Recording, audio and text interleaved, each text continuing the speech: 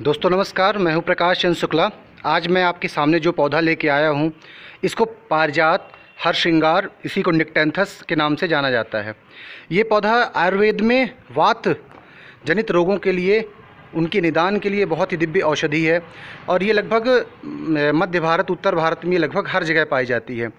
इसकी यदि हम बात करें तो यदि कोई व्यक्ति बहुत ज़्यादा शरीर में यदि दर्द होती है, घुटने में दर्द यदि बना रहता है या अर्थराइटिस की समस्या है तो इस पौधे की जो पत्तियाँ होती हैं, इस प्रकार से इसकी पत्तियाँ होती हैं, ऐसे ऐसे पत्तियाँ होती हैं, इनको आप उबाल करके, पत्तियों को उबाल करके और ग्रीन टी के रूप में यदि आप इसका सेवन करते हैं तो बहुत ज़्यादा इसका फ़ायदा देखा गया है।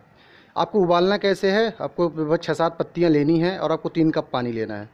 उसमें तब तक उबालना है जब तक एक कप पानी न बच। जाए और सुबह शाम सेवन करने से घुटने के दर्द में बहुत ही ज़्यादा राहत इसमें देखा गया है।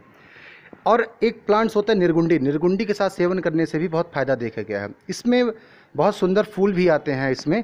लगभग आपके अगस्त सितंबर के आसपास बहुत ब्यूटीफुल इसमें फ्लावर आते हैं। तो बहुत ज़्यादा खुशबू होती है और उसके कारण मक्खी, मच्छर वगैरह भी आपके घर के पास कम से कम मात्रा में रहते हैं।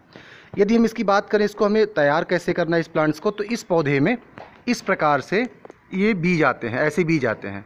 इन बीजों को आप जून के आसपास या मई के आसपास में आप क्यारी बना करके उनको यदि आप बो देते हैं तो अगस्त तक ये पौधे आपके पास तैयार हो जाते हैं। तो ये रहा पूरा पौधा हर श्रृंगार रहा पारिजात के बारे में। तो इस पौधे को आप अपने यहाँ लगाएँ, इनको सुरक्षित रखें और जो भी शरीर में दर्द होता है, वात वाली समस्या जिन भी लोगों को रहती है तो यही पौधा केवल रामबाण इलाज है। शरीर में मालिश मालिश करवाना और इसके पत्तियों का सेवन ही वात जनित रोगों का निदान कर सकता है।